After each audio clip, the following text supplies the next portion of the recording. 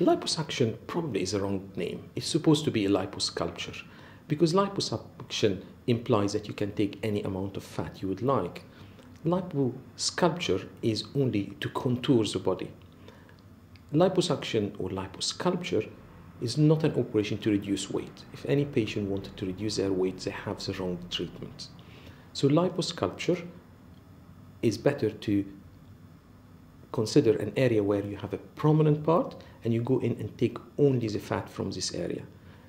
It's usually done through a small tiny hole where we can inject some fluid first of all to soften the fat and also it contains some painkiller and then with a tube you go in and you take the fat away. This operation is always done under general anesthetic. However, in tiny area like the neck or the chin, it can be done under local anesthetic. It can be done as a day case or even one night stay. Again, I insist that all my patients after this operation wear a very tight pressure garment to reduce the swelling and the bruises. One of the problems of this operation is that patient after the operation will look very bruised, but it usually within 72 hours it settled down and the results start to become more obvious. The swelling take a bit longer, may take in some patients a few weeks before it settles down completely.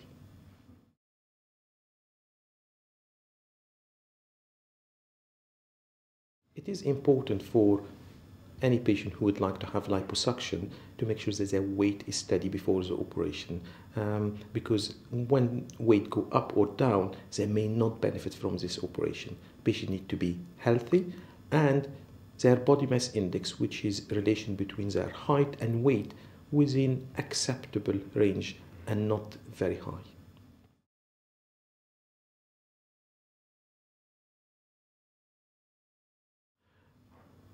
As I mentioned, if you have an area where you would like to reduce the fat, you do a small tiny hole. This hole is, a, is probably about six millimeter long, so it's very, very tiny. And you go in, inject some fluid, and through a tiny, tiny cannula, you go in and suck the fat. There is a lot of way of doing them. Some of the machine have some power, so it helps the surgeon to make it quicker, and some of them it's manual. I don't think there is any difference between the two. What's important is to choose the right patient and have the right operation.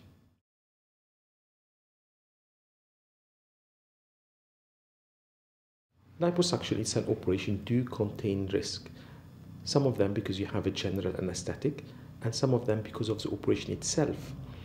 The most likely expected outcome is bruises and swelling. Bruises will last between three to seven days. Swelling will last up to a few weeks.